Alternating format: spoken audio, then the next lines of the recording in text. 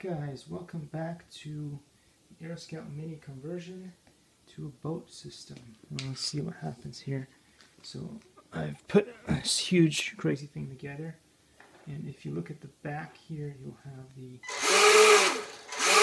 this hopefully will give us enough power to move the boat although the boat is pretty heavy and then we'll have steering left and right although not very powerful either so we'll just put it on a uh, put it in the pool and see if it does anything at all.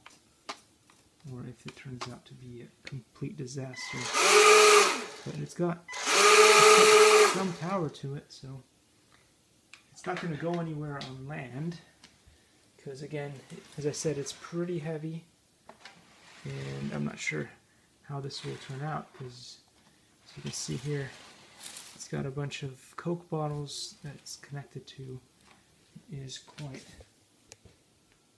the interesting looking ship. Um, and again, we won't know if this works until I put a camera and all that stuff on it.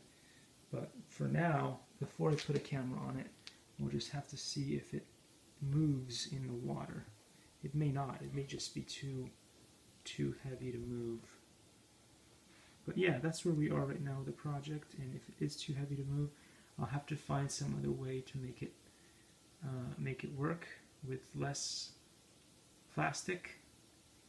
But yeah, not too bad for a day's work. Anyway, thanks for watching guys, and I'll see you in the next one.